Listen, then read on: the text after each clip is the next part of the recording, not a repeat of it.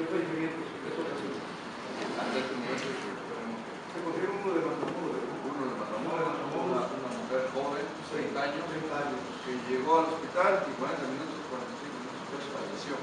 Sí, llegó este, de una manera eh, Se no, nos hablaba no, de, de, una, de un fallecimiento más recientemente. Un anciano. Este, pero no, no se está confirmando, no sé si ya No. tienen el caso. no, no, no, este, tenemos uno confirmado. Ah, Hay uno más sospechoso, pero tenemos que recibir la, la información de, del, del, eh, del INDRE y luego de los laboratorios estatal de salud pública.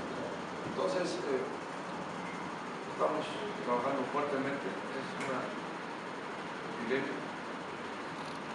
eh, con los casos que acabo de comentar y, y eso fue el motivo de mi presencia aquí de hoy. El tercero. Es de Altamira. Altamira, también un un anciano de 83 años de edad. hay temor, doctor, que por las lluvias que se están registrando casi también el número de casos confirmados. Así es. Mira, Las lluvias es nuestro enemigo número uno.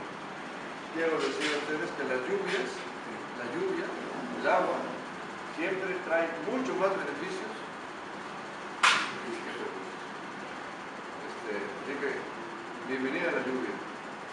Pero a nosotros nos trae problemas. Este, y estamos trabajando precisamente para A pesar de la situación en la que están, de, que, de los procedimientos que se ha, que ha habido, ¿tienen controlada la situación? Bueno, en los hospitales eh, se, se estableció un, un- un protocolo de atención que se llama triage, es una palabra francesa que significa tres, y es que es una semaforización de los casos que llegan a los hospitales. Entonces ustedes vean, llegan pacientes con sospecha de de dengue, porque bueno, esta situación ha creado es una toma de conciencia de que hay que cuidarse. Una persona que tiene fiebre, que tiene dolor de cabeza, que tiene eh, dolor de cuerpo, pues eh, piensa que ya tiene fiebre, eh, dengue y se va al hospital. Entonces en el hospital se hace la, con una prueba rápida que, tenemos, se hace la semaforización clínicamente primero y después con la prueba rápida. Los pacientes que llegan clínicamente eh, su cuadro puede estar dado por cualquier otro problema, infecciones vías urinarias, una, una gripa fuerte, eh, cualquier otro problema, se descarta, se descarta, se le da.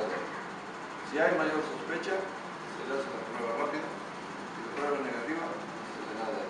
Si es positiva, se le, se le introduce a una área que llamamos de hidratación, donde no es hospitalaria, es prehospitalaria, en el hospital, donde se interna, se le hidrata, que es muy importante, se le hidrata, se le toman pruebas y se le tiene ahí algunas horas.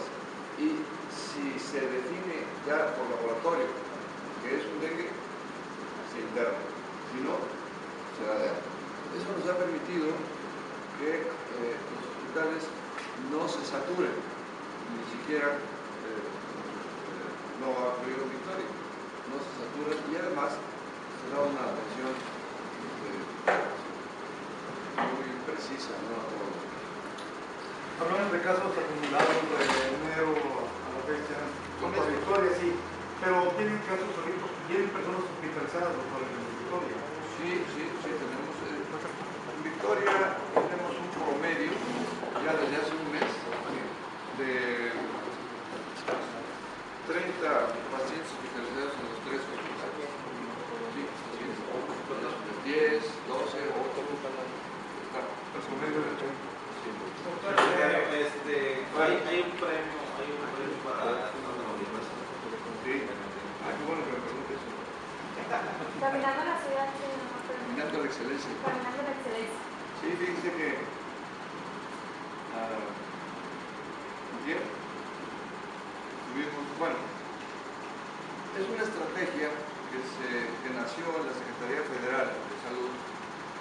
2000, donde eh, los, eh,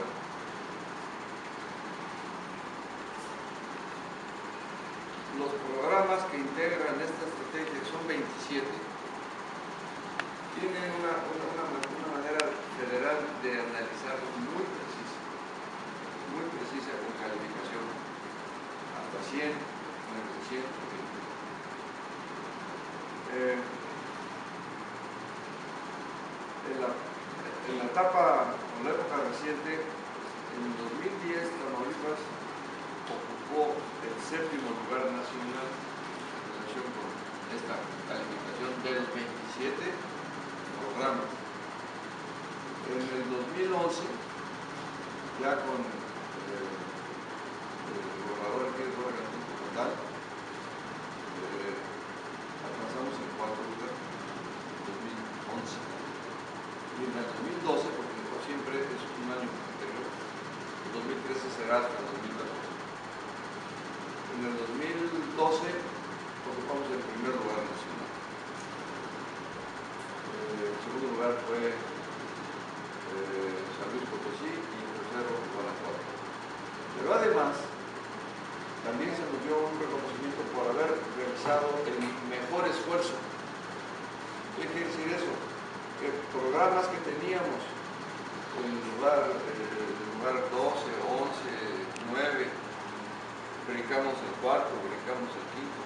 Y eso fue lo que nos dio el primer lugar nacional, lo cual a mí me tiene muy orgulloso y de todo el equipo me tiene muy, muy orgulloso de ese reconocimiento que me entregó la Secretaria Federal de Salud, en presencia del señor gobernador de Morelos, eh, el Draco Ramírez. Así que, hombre, estaba...